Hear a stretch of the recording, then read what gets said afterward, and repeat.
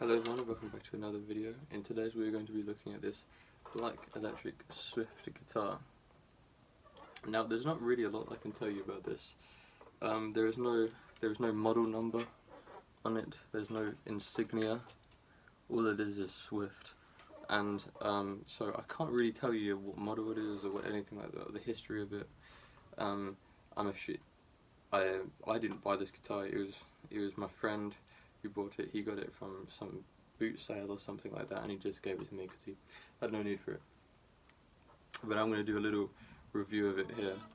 Um, so going over the specs, it's got standard standard uh, tuning, modern style tuners. Um, nothing nothing too fancy. A little bit, you know, typical cheap. Uh, excuse me, typical cheap tuners. You know, not very accurate. They are nice and big um, you're not having to crown, they're easy to access, they're offset from each other. Moving down we have then the um, locking nuts, I don't have the locking, the locks to them, however I can tell just from looking at it, not the best craftsmanship, um, it is a little short on this side, it catches and it overhangs on this side, and furthermore it's okay on the bridge side, however the nut is a little cut is cut a little too short you can hear it buzz out on the G string specifically. Um, the lower the lower ones are fine. So we got we have 24 frets. Um, I'm assuming again don't really know a lot about this guitar. It looks like rosewood, um, and then at the back I'm assuming that's probably maple or something like that. Um, two two part neck, yeah two part neck, and then we can move on to the body. So HSH um, configuration. Um, there's a three, uh, five-way selector and um, a tone and volume, and furthermore there is a, a, a Floyd Rose style style bridge. Um, it's uh, I need to give the guitar a setup, but um, that's that's the basics of it. The output the output jack is there quite an okay position actually I would say. I think that's quite convenient. It's a little bit it's out of the way. Um, the um, the paint on this is very thin and it come and it would come off quite easily. I don't think I can show the camera but um if you, know when you're in person you can see the lines you can see the kind of the wood grain underneath sort of. Um, I don't think there's any really real way to sort of pick that up on the camera um, but there is lines going through it. You can't feel it, but there is it is there. So not a thick uh, coat of paint at all.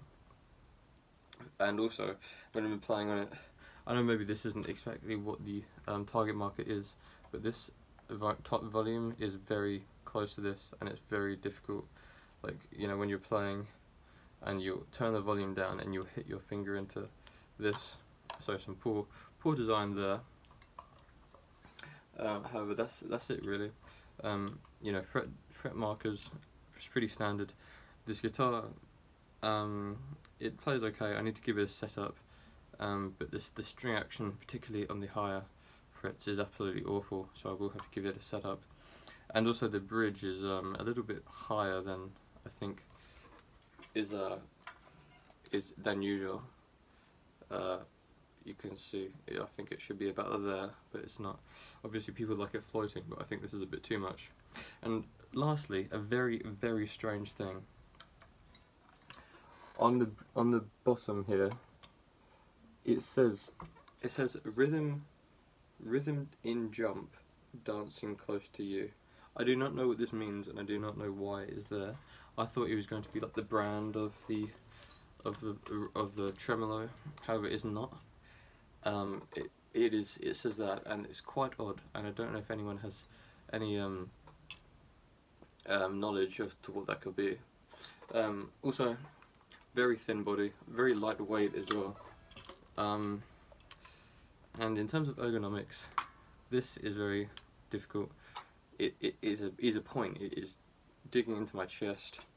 There is some contours for the uh, for the stomach here and also for the arm yeah but um, I think that's enough and um, we're going to now have, have a listen to what it sounds like so stay tuned uh, got the guitar amped up. It's going through a Boss Katana. No no effects. Um, a little bit of a treble. Everything else is at noon, and this is the bridge um, pickup humbucker.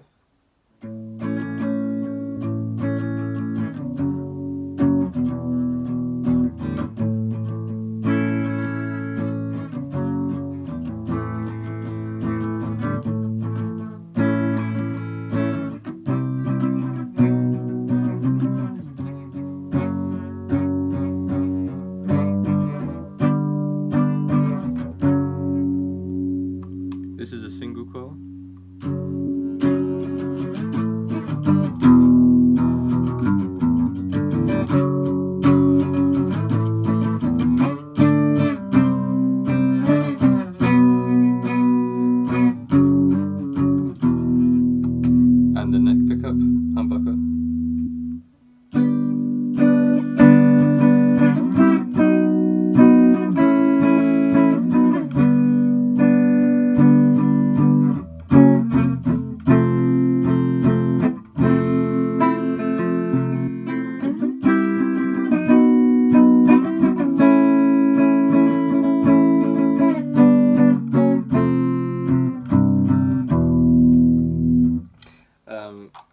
To the bridge. I'll, I'll play around with the tone up a, a little bit. So.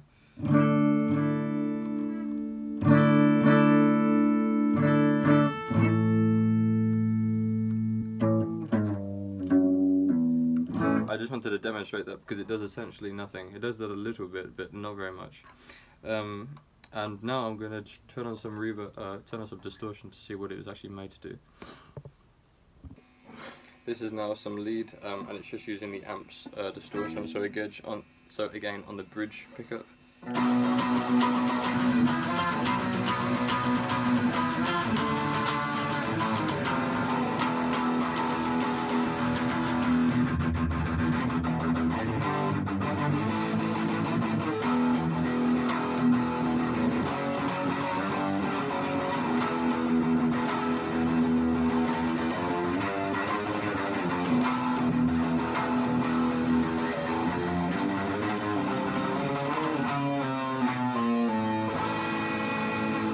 This is the fourth position, so the bridge and um, single coil. I didn't check that before.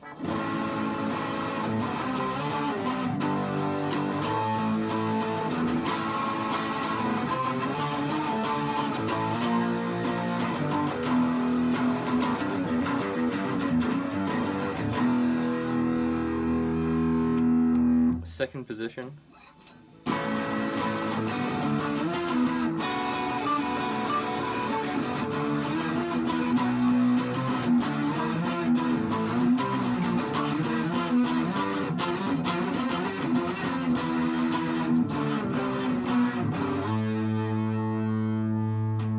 Back to the humbucker. I'm just gonna just uh, do some do some lead lead guitar.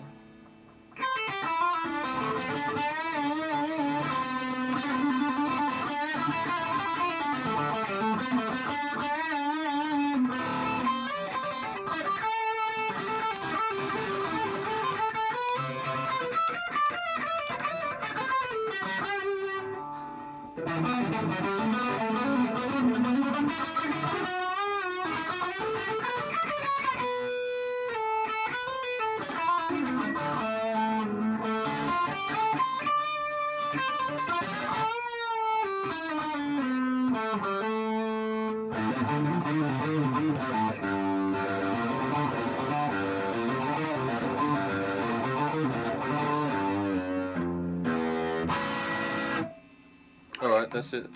That's it for this guitar. Um, overall, I'm, I don't really like the pickups. I think they're very um, uh, bassy, incredibly bassy, especially when you hear it without distortion. With distortion, it brings out the highs a little bit, and I think that is what it's made for. Obviously, being a shaped guitar like this. However, um, yeah, overall, I'm not um, massively sold on them.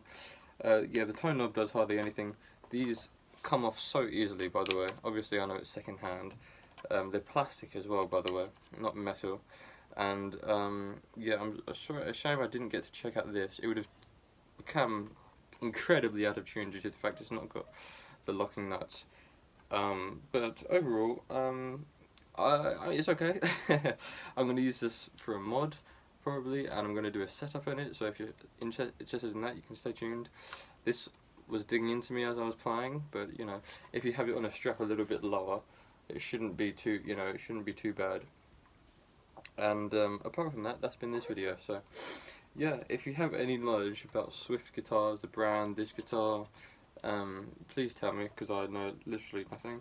And um, apart from that I will be um, seeing you in the next video. So stay tuned for future videos. My next video to be most likely um, something guitar related or actually I think it's probably going to be um, I'm going to be doing I'm going to be modding a Nintendo DS to to be a Game Boy Macro if you know what that is if not then stay tuned anyway because I will have covers and I'll do other guitar related videos such as a setup on this very guitar so other than that thank you for watching and I'll see you in the next oh just before that, I wanted to say as well, it has 24 frets, but it is incredibly difficult to get up to it. Like, you know, you can't, you, you can't realistically actually get up to here.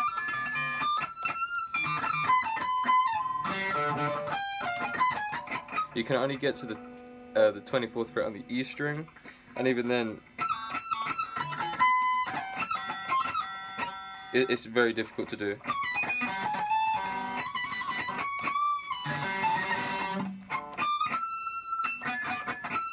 Sorry, I know some poor playing there.